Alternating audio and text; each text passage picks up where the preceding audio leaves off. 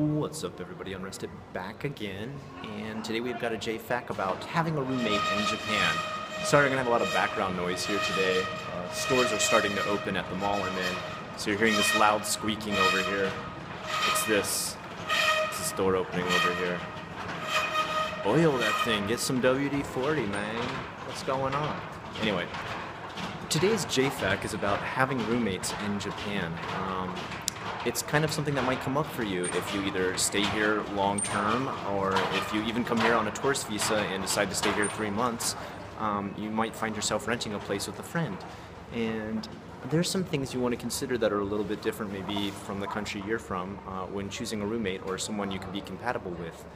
Um, maybe you're wondering, you know, you've, you've had a friend for a long time, but you guys have never roomed together, or you've never traveled in uh, small areas to get together, or had to stay in a small apartment building together. Um, what's that going to be like in Japan? What are the certain things that you think both people should have as far as qualities of uh, being able to live comfortably in Japan with each other? Uh, well, the first thing I want you to think about is is it somebody you're comfortable being very close to? Because most of the places you're going to rent are very small, and you may not even have your own separate rooms. Um, is it a situation where you're okay undressing next to them? Um, is it one where you're okay being able to hear them go to the bathroom next to you? Because you're probably going to be able to hear that. Um, you know, so think about tight quarters. That's what I want you to understand. Now, some of those ex-military people out there have no problem with that at all. They're like, whatever, big deal. I've had to do that with like four guys in one area.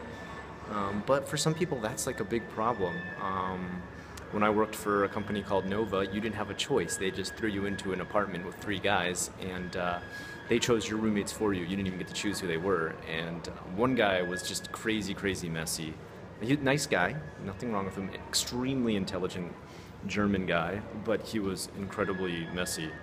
Uh, I mean, like disgusting messy. Like I don't I don't know what he would cook, but when he would cook, every single dish in the sink would just be left with this like permanent grease, and he never cleaned his own dishes. And like when you would even try to go to clean them yourself, I remember like they would slip out of my hand and like break because there'd be so much grease on them, or like I couldn't get the grease off, like it was so thick and he would never clean that up. And like the way he had cooked on the stove, he had like blackened the whole side of the wall, and just his room was a mess. It smelled like the stench of sweat. Oh man, it was bad. He's a really nice guy though. So sorry if you're watching that now, ex-German roommate whose name I don't remember. Actually, I do remember his name. I shouldn't say it though. That's that's too bad. I shouldn't say that because I don't know. Maybe one day my channel will blow up and it'll get released and he'll lose his job because they'll be like, I heard you were super messy in Japan.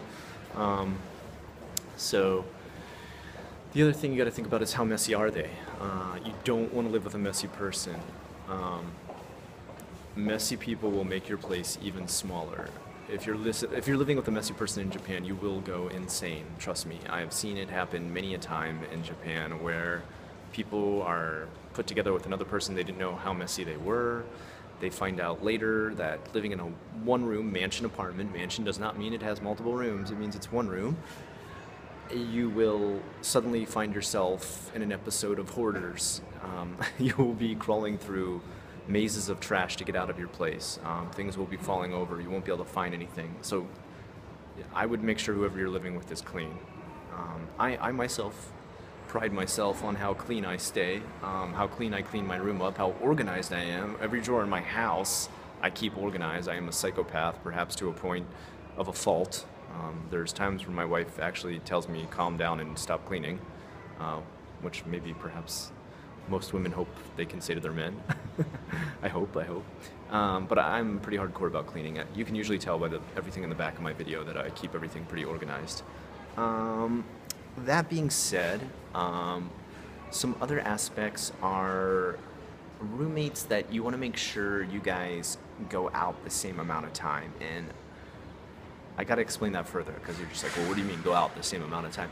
I want to say like night pattern, like you guys go out at night. Like if you're a type of person who likes to hit up bars and drink, um, you know, you want to make sure you got a roommate like that because that is a very, very active thing in the city parts of Japan. There's very active nightlife, city life, and it can go all night. There's literally a Japanese word that means to stay out all night is all to, like, do you want to do an all to stay out until the trains start the next day at 5 a.m.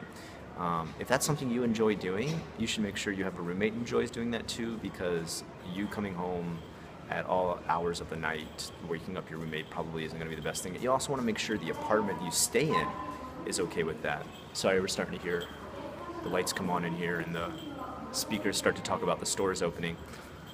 So sorry for the background noise for that. Um, but you want to make sure the apartment you're in is okay with that. Some apartments have like a certain sound ordinance. We had one apartment we lived in, and this this might sound crazy to you, but you weren't supposed to like run water, vacuum, or uh, run your washer or dryer past midnight. Which I could I can understand vacuum. Vacuuming I can understand. That can be pretty loud. Running water wasn't so loud. So what if I came home past midnight? I couldn't take a shower. Uh, so I mean, you want to make sure your apartment works well with you like that. There's some pretty rough sound ordinances. Of course, you know, they're not going to arrest you, they're not going to evict you if you break those sound ordinances, but you will have some pretty unhappy neighbors if you do do that.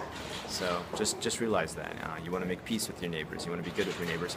Here's just one other thing you want to think about when you're getting a place. I know I said roommates, but I'm starting to talk about choosing an apartment in Japan.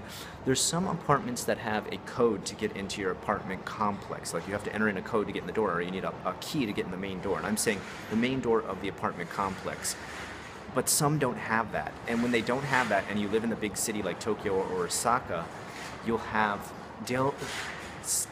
door-to-door salespeople. Yes, they still exist in Japan, and they do. They sell ridiculous shit. Like I've had everything tried to be sold to me by door-to-door salespeople. Um, one of the most ridiculous things was milk. Like literally, still selling bottled milk door to door, which I was just like, what? And like, they, they will do it all hours too. Uh, you want to be in the video? Is that what you, you want to? Right? Just stare at it. so yeah, it's it's pretty crazy. Um, but that being said, uh, be careful that the place you choose, you know, has some sort of lockdown that'll stop people from coming in. Um, make sure it has some way of allowing you to keep your own peace. If you don't, you will get like I've gotten people at 7 a.m. try to sell me milk, and then at 11 p.m. try to sell me high-speed internet. And like even if you tell them the time, they're just kind of like, "Oh yeah, look at the time. That's pretty crazy." You're just like, "What are you doing?" Um, also, if you can check to see if you have a door where there's a camera showing you who is at the door, you can avoid a lot of stuff like NHK, who's going to ask you for money for just watching your TV. Um, you don't need to pay that. A lot of the time, that's a scam. So I always I always avoid that. I peel the NHK sticker off my door too, which a lot of people don't think to do. Um, when you move into your apartment, usually above your door there's an NHK sticker. Peel that sticker off, unless you're a huge NHK fan, in which case you can pay the fee if you want to. Um, peel the sticker off, and when they come to your door, just I always point up to the door and I say, "Look, there's no NHK sticker," and they're like, "Oh yeah." Oh, so that, that shies them away right. I'm like, there's no NHK sticker. And they're like, why not? And I'm like, because I don't have a TV. I don't watch NHK. And they're like, Oh, oh. Some some will get really aggressive though, so you got to watch out, man. Uh, some some speak English. Um, some will. I've had some try to like push their way into my apartment, and I smash their foot in the door. Um, but that being said, um, you know, think about your apartment you're going to live in, and think about the roommate you're going to choose. Um, that's a subject, man. I can expand a lot more on this. I should do a whole series on choosing your apartment and who you're living with. And it's very different too if that person is Japanese. You'll have totally different things to expect. Um, or if they're Gaijin, or if they're Gaijin from different countries too, because different Gaijin act different ways. And that being said, that is your JFAQ for today. I hope you enjoyed everything you saw. If you did, please like, comment, and subscribe. I am Unrested.